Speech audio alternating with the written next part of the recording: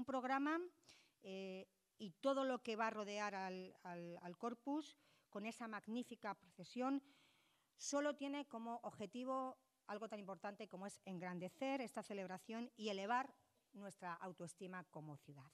El corpus es la suma de voluntades, siempre lo he dicho, es la fiesta del color, es la fiesta del olor, es la fiesta del sentimiento y de esfuerzos de todos cuantos aman esta ciudad y han contribuido a elaborar la oferta que hoy les hemos presentado. Una de las novedades de este año es el acto que vamos a celebrar la víspera del Corpus en el Puente de Alcántara. Tengo que decir que ese rastrillo es uno de los rastrillos más antiguos que se conservan en el mundo y se trata de una pequeña representación con el izado del rastrillo para simbolizar la apertura de la ciudad a los visitantes en estas ferias del Corpus. Será el día 15 de junio a las 6 de la tarde.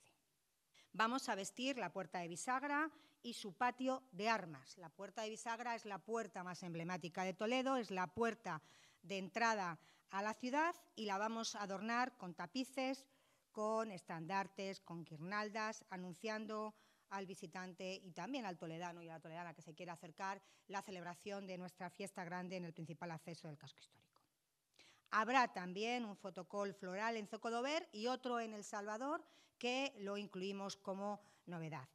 Y se van a instalar dos jardines de plantas verticales en San Marcos y también cinco pirámides florales. Dos en Zocodover, uno en Juan de Mariana, otro en Jesús y María y otro en la Plaza del Salvador. Con motivo del eh, octavo centenario de Alfonso X, hemos incorporado los dos nuevos gigantones que están hoy aquí. Los nuevos gigantones con figuras de Alfonso X y de su mujer Violante de Aragón, que formarán parte de la cabalgata anunciadora de las vísperas y del mismo día de la procesión.